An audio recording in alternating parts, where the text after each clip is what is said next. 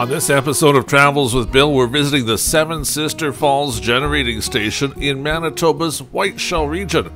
Right now, we're downriver looking back at the dam and the station house. There's a little park this way, but certainly you don't have to stand this far away to see the installation. At Seven Sisters, you can get up close. We'll drive over to the dam and give you a better view.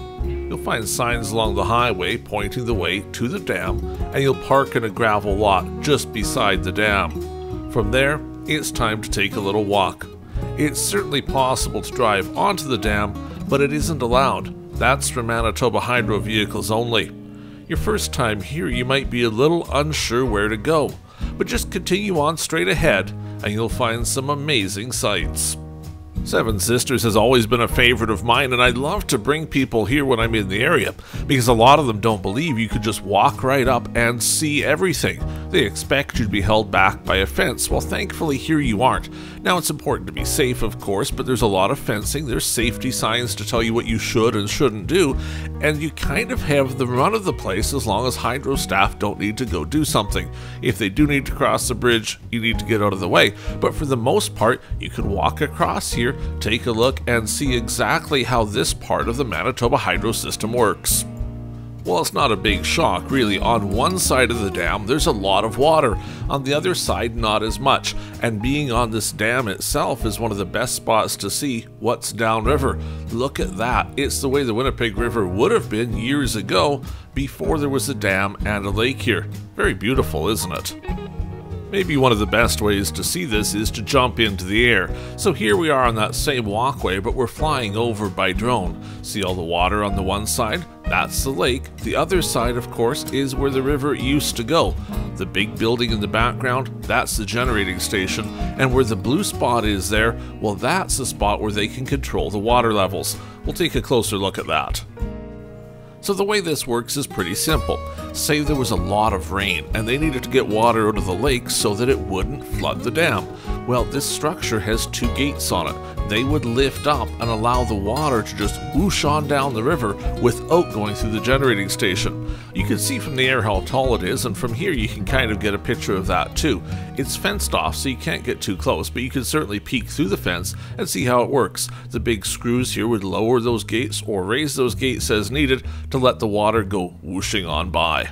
Now, while we're speaking of safety, there's life rings here should you fall in. If you fall in on the water side, obviously that might help. If you fall in on the other side, well, I'm not sure the life ring's really going to solve the problems you're going to have. But there is a nice big fence here. It's a good enough fence to keep the kids in, and you'll feel pretty safe, but keep a hold of them just in case. There's some really neat architecture here as well. Check out the old-fashioned lighting on the bridge. Now you can tell it's been here for a while, but isn't it so cool looking? It's the type of thing you'd want to find in an antique store, I suppose, but it's on the bridge, it's got glass pieces there. It's really, really cool to see. Worth taking pictures of for sure.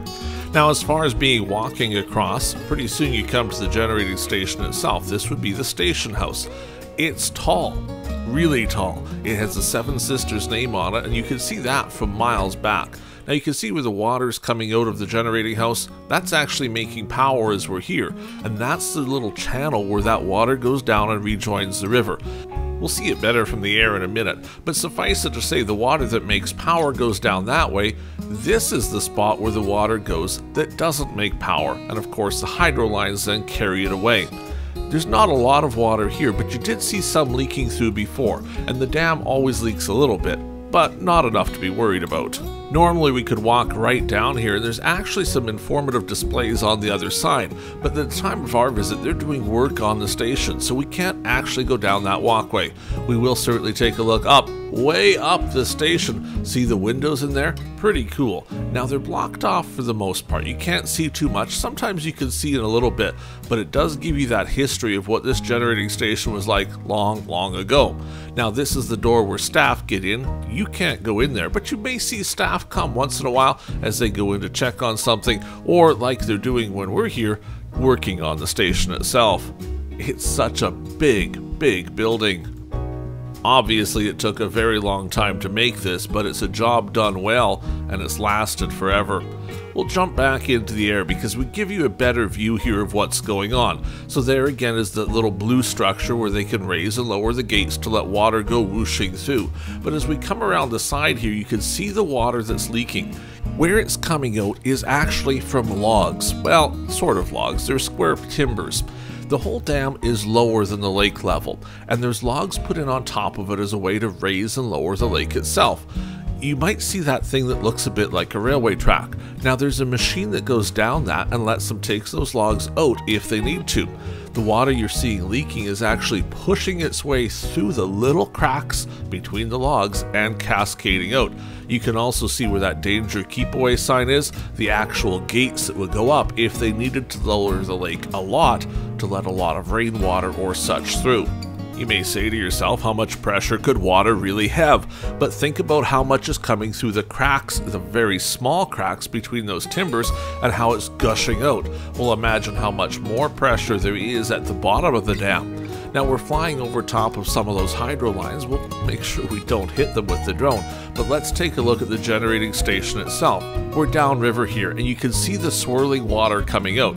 It certainly looks to me like there's two turbines running right now a couple things at play here. There's a drought going on while we're filming this, so it's not like there's a lot of excess water, but they're also doing station maintenance. I don't know if they're only running two because of the lack of water, or if it's because of the maintenance. In either case, it sure looks like two turbines are running at the time of our visit. Now you might recognize these rocks too. This is what the Whiteshell area looks like most places, and immediately on the other side of the dam it used to look like that too. Well, this is where the river used to run on by, and of course, it would have been snaking through here. The dam itself is making that lake be there. Without the dam, there'd just be a river here like there used to be many, many years ago. Off in the distance is the old Seven Sister Falls town site. We'll see that a little better in a few moments. And we're looking now kind of towards that park where we saw that first image way back when. You can see the little road down there. You can drive down into that if you look around a little bit, although the view of the dam is much better from here where we are on the dam itself. The capacity of the generating station right now is 165 megawatts, and in a typical year, the station could produce 990 million kilowatt hours. It's the largest generating station on the Winnipeg River. Power is transmitted over five lines to Winnipeg. The sixth and seventh lines go to the Whiteshell and then on to Kenora, Ontario. The powerhouse itself is 128 meters long and it can discharge 1,146 cubic meters of water per second. We're flying down the discharge channel here. This is where the water that's been through the generating station actually goes and then rejoins the river. Now further downstream, that's a bit more of a picture of what the river may have looked like without a dam. Now you may think fishing, you may think boating, you may think a lot of things, but don't do any of that until you understand how dams work. There's a lot of currents at play here. To bring a boat here and not understand it, well, it could be a really bad end to what would have been a really nice day if you'd stayed a little further away. Obviously, there's currents going into the dam, but there's also water coming back out of it into the river.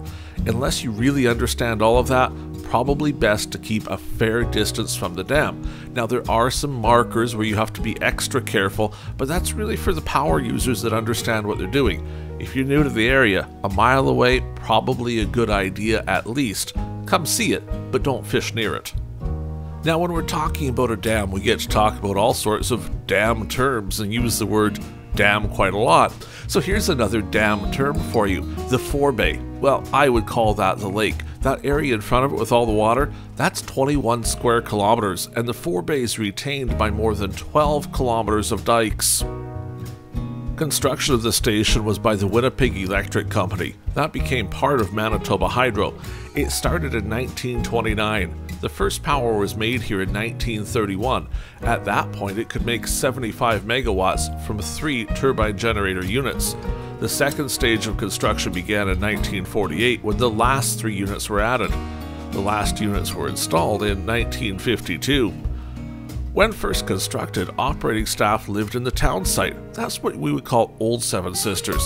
The plant was automated in the 70s and put under remote control, and since then has needed a much smaller staff on site. We're visiting in the summer of 2021, and unfortunately, it's forest fire season in Manitoba. The province has been covered by thick smoke for weeks, and you can see it in our drone shot as it fades off into the distance. That's all forest fire smoke, and it's been so much of a trouble. A lot of people having trouble breathing with so much smoke. It kind of makes for a neat picture of the dam off in the distance, so probably when you visit it'll be a lot clearer and you can see a lot further, but it is kind of cool to see it emerging from the fog there up ahead of us. Now imagine for a moment the damage that could happen if that dam just disappeared. Well, that lake, of course, would come rushing down the river, and it wouldn't be very good for a lot of people downstream. You know, we haven't talked about trains yet, and maybe we should because there's a way we could work trains into the Seven Sister Falls generating station. My first visit, I thought, hey, did there used to be a railway track here? Because there's really not a lot of evidence for that, except for a couple weird things. On the deck of the dam itself, it has a railway track. Well, that's kind of explained away because there's a specialized railway car at the far end of that track that rolls out. It has the winches on it to take those logs in and out of each of the little hatches right under the track. But then you see there's a bit of a spot here too that looks like it may have been a railway right of way. But I'll show that to you in a moment.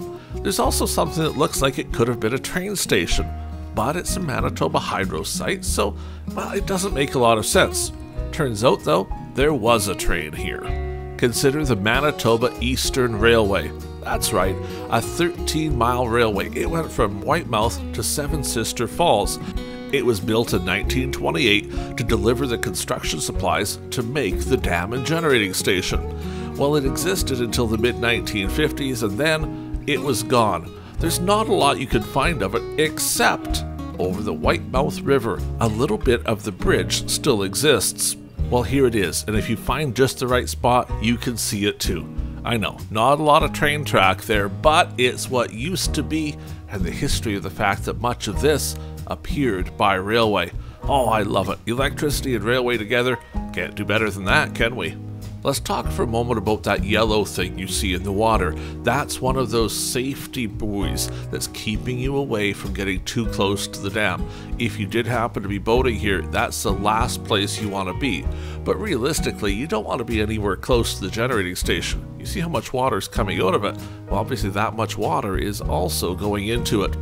Now you see a tower there, that's part of the Manitoba Hydro Communication System that lets them tie this generating station in with all the other generating stations and remote control it, and of course, lots and lots of hydro lines. When you're driving to the Whiteshell area from Winnipeg, you'll pass under a bunch of those lines, and if you look really close, you'll see them saying Seven Sisters on them. There's a hydro station just a little ways down the way from here with a lot of transformers and switching equipment. Some of the lines stop off there, and some continue straight on towards Winnipeg. We're going to jump ahead here a little bit and get on the other side of the dam and show you that town site. Now this is the original town site of Seven Sisters. What you would call Seven Sisters now is, well, a little ways away from here. In fact, we have another episode all about the newer town site. But this is the spot where all those Hydro employees lived, worked, and played too. There's lots of recreation facilities here. It's kind of a cool little part of the old town. The road comes in here, there's still some houses around, but you'll see a lot of other stuff here too. Now, down below in the left hand side, that's the parking lot where you're going to park if you're coming to visit the dam. Well, if you look just right, you can even see the Travels Bill fan down there.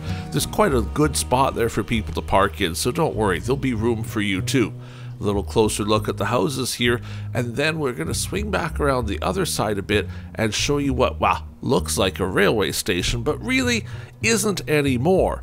We don't know if it was. I couldn't find enough history about the area to be able to tell you definitively if that's where the train used to stop. I suspect, though, it probably wasn't. I think it's always been a hydro site. Now, see that row of trees and see that little path there? That's what I suspect to be the old railway right of way. It's elevated up a little bit and it's very straight, takes very gentle curves. Well, to me, that looks exactly like where the railway track would have been that originally connected to the dam.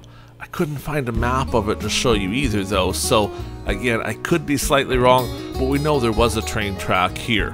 We'll take a closer look at that building down below. These days, at least, it's used as a Manitoba Hydro training center. It's kind of cool. It's called the Seven Sisters Training and Conference Center. Okay, maybe it's not the most original name, but it's kind of a neat building. Imagine being hydro staff and coming out here to something like this. It's obviously a heritage building. Some neat steps in the front, and then a second set of them a little further on. They're doing some work on this, obviously, too, some renovations. It's had new windows but there's still, well, maybe a little bit to do. Kind of a cool place to look, though, and well, if you're into old buildings, neat place to take a picture, too. But there's something else in Seven Sisters, the old town site at least, you really need to see. You may have noticed from the drone there was an outdoor hockey rink. This is on the wall of it. Check out the mural. Isn't it amazing? Now, obviously, you can see where the generating station is there. You can see Seven Sisters, but you see so many things, all parts of the Whiteshell here. We're going to get in close and show you a little bit more of it. But oh, you need to stop, get some pictures here, and look at it. The camera doesn't do justice. See how some of it looks like it's in 3D? Well, it is. That owl, for example, really pops out. So do the fish. Now, if you look really closely, you'll even see a Sasquatch in here. That's kind of cool. There's a tractor too, and if you look in the right spot, there's also a train. See the people on the boat? Hey, there's the Sasquatch right under the 307 sign tractor up at the top, some people tubing there as well. Obviously, this is a bit of a stylized drawing, but it's so amazing. Even without the dam and everything we've seen already, it would be worth stopping just to see the amount of work they put into this. Hey, there's that train up in the corner. You know, we're not that far away from some big railway tracks. You can even see the Esso. cool, isn't it? Some fish in the dam. Wow, so this is the Seven Sister Falls generating station. Now we do have that other episode. It's about sort of the newer town site that you would visit as a tourist. You have to turn off the road to get to all of this, but we'll show you that newer town site and there's a lot more to learn about the Whiteshell on the channel too. We were here for a week in the summer filming, so you can certainly see about everything. Have you subscribed to Travels with Bill yet? We'd love to have you as a subscriber, then you'll be one of the first to know each time we release a new episode. They usually come out uh, once or twice a week, and we try to always find some interesting things to show you. Sometimes we're traveling, sometimes we're traveling in time through history, and other times it's just something neat we happen upon. No matter what we're showing, though, we'd love to have you as part of the Travels with Bill family. Well, that does it for our tour of the Seven Sisters Falls generating station and the Old Town site. We'll see you next time. Farewell for now from Seven Sisters in the Whiteshell region of beautiful Manitoba.